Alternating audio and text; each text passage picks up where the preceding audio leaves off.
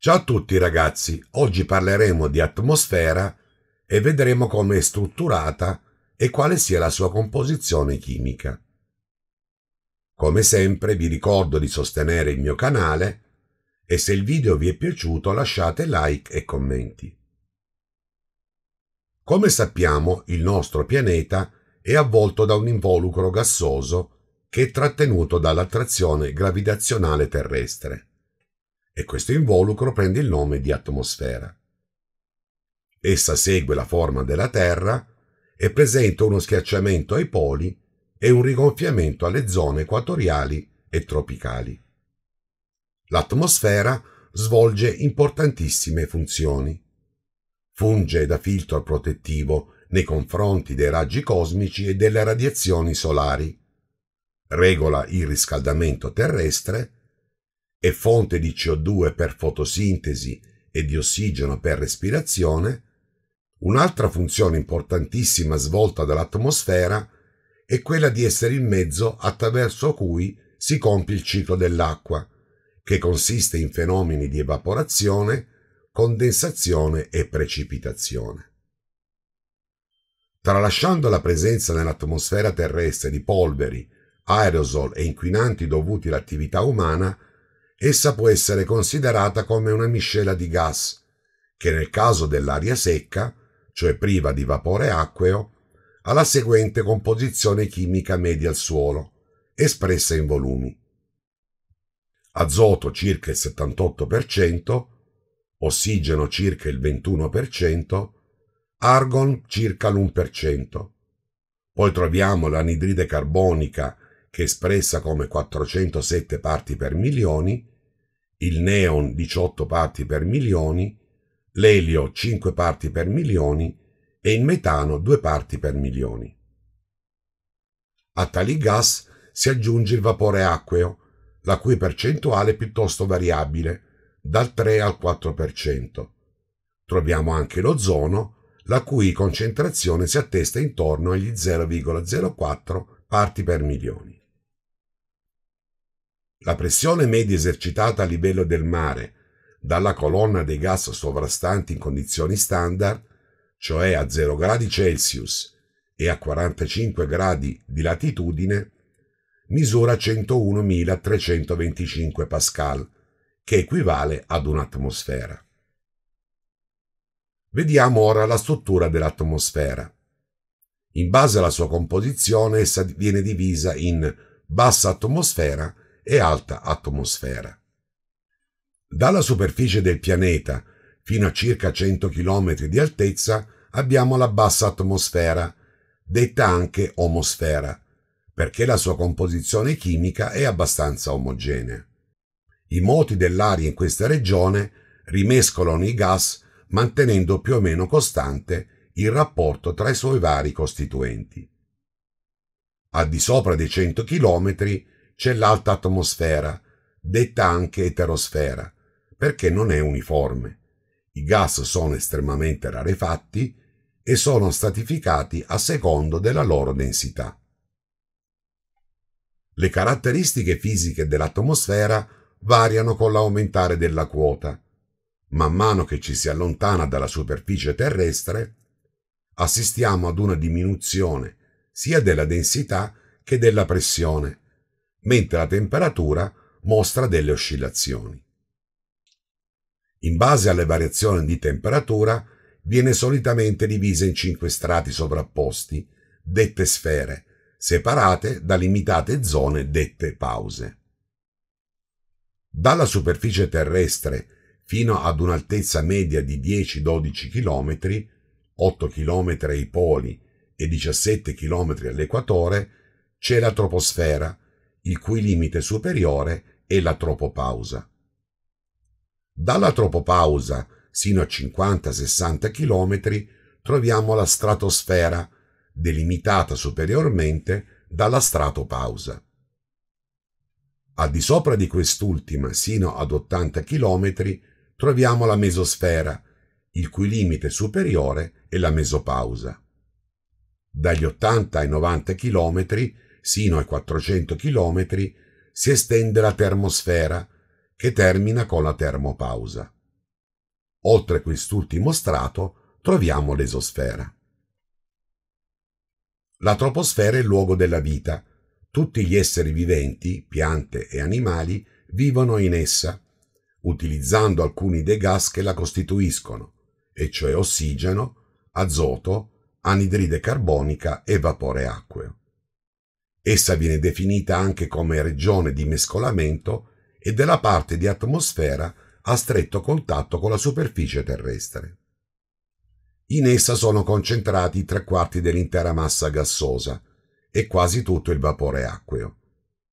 La troposfera è lo strato dove avviene la maggior parte dei fenomeni di carattere meteorologico, causati dalla circolazione delle masse d'aria che danno vita ai venti, alle nuvole e alle precipitazioni atmosferiche. La maggior parte degli inquinanti atmosferici emessi rimane confinata nella troposfera, alcuni concentrati vicino alla superficie terrestre, altri come ozono, anidride carbonica e metano sono distribuiti in modo più uniforme. La troposfera è riscaldata principalmente dal basso, ovvero dalla Terra riscaldata dalla radiazione solare. Ne deriva che la temperatura diminuisce con l'altitudine e varia fino a raggiungere un minimo di meno 50 gradi Celsius a 12 km di altezza. Poiché in questa zona i rimescolamenti di aria sono frequenti, la diminuzione della temperatura in altezza è irregolare. Con buona approssimazione si può indicare un gradiente termico verticale medio di 6,5 gradi Celsius ogni chilometro. Si tratta di un valore medio poiché si possono riscontrare abbassamenti di temperatura anche più repentini, nell'ordine di 10 gradi Celsius ogni chilometro. Lo strato successivo, detto tropopausa, è un sottile strato dello spessore di 100-300 metri ed è caratterizzato da una isotermia e dalla presenza di forti correnti orizzontali di grande intensità, dette correnti a getto. La stratosfera comincia intorno ai 12 km, 8 ai poli e 20 all'equatore, e termina a un'altitudine di circa 50 km, dove la temperatura raggiunge un massimo di meno 3 gradi centigradi. È caratterizzata da un gradiente termico verticale positivo e molto piccolo, cioè in essa la temperatura aumenta leggermente con la quota, contrariamente a quanto avviene nello strato sottostante. Questo aumento di temperatura con la quota è dovuto alla dissociazione delle molecole di ozono presenti nella stratosfera. L'ozono è un gas le cui molecole sono formate da tre atomi di ossigeno. Quando i raggi ultravioletti emessi dal Sole vanno a colpire le molecole di ozono, queste si decompongono. Il processo ha due effetti.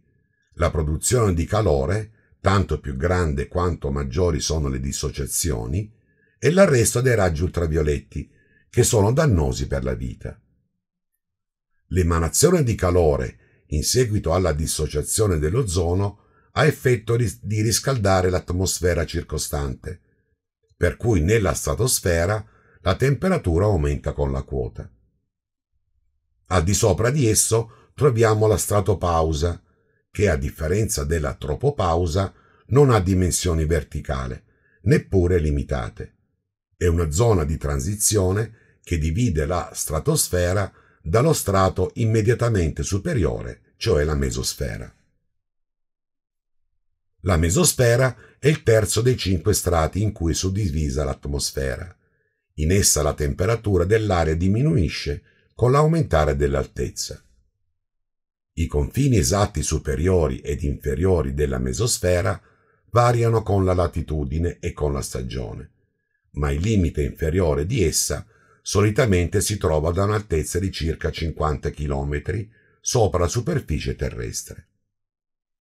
La mesosfera è caratterizzata da un'accentuata rarefazione degli elementi gassosi e da un graduale aumento di quelli più leggeri a scapito di quelli più pesanti. In questa parte dell'atmosfera la temperatura riprende a diminuire con l'altezza e raggiunge il valore minimo variabile tra i meno 70 e i meno 140 gradi Celsius, intorno agli 80 km. Attorno agli 80 km di quota si possono osservare talvolta le nubi notti lucenti, costituite probabilmente di cristalli di ghiaccio e minutissime polveri. Tali nubi sono visibili durante l'estate, in genere alle alte latitudini e al crepuscolo e si presentano come sottili e brillanti, intensamente illuminate dagli ultimi raggi del sole. L'osservazione di queste nubi mostra che nell'alta mesosfera esiste un complesso sistema di correnti aerei ad andamento variabile che dovrebbero raggiungere la velocità fino a 300 km orari. Il limite superiore della mesosfera è la mesopausa, che di solito si trova ad un'altezza di circa 100 km. Viene etichettato come il luogo più freddo a livello naturale della Terra, con temperature che si aggirano intorno ai meno 143 gradi Celsius. Vediamo adesso la termosfera. Essa prende il nome dal greco thermos, che sta a indicare uno strato molto caldo. Questa regione dell'atmosfera è caratterizzata infatti da un continuo aumento della temperatura con l'altezza. Secondo dati e calcoli teorici recenti, tra i 110 e i 120 km, essa dovrebbe essere già risalita a 0 gradi Celsius. A 150 km si aggirerebbe intorno ad alcune centinaia di gradi sopra lo zero e al limite superiore, in prossimità della termopausa, supererebbe il migliaio di gradi. Tuttavia, questi dati si riferiscono alla temperatura cinetica delle particelle, che le fa viaggiare a una velocità di poco inferiore alla velocità di fuga. Nella termosfera cominciano ad incendiarsi e a disintegrarsi le meteore, corpi solidi che provengono dallo spazio. Nella termosfera si trova la ionosfera, lo strato dell'atmosfera terrestre che riflette le onde radio lunghe, medie, corte e cortissime. Grazie a questo strato atmosferico è possibile che le trasmissioni radio possano essere trasmesse in più punti della superficie terrestre. La ionosfera è anche sede del fenomeno delle aurore polari, che si formano in seguito a interazioni tra protoni ed elettroni di origine solare, e gas rarefatti come azoto e ossigeno presenti nell'atmosfera.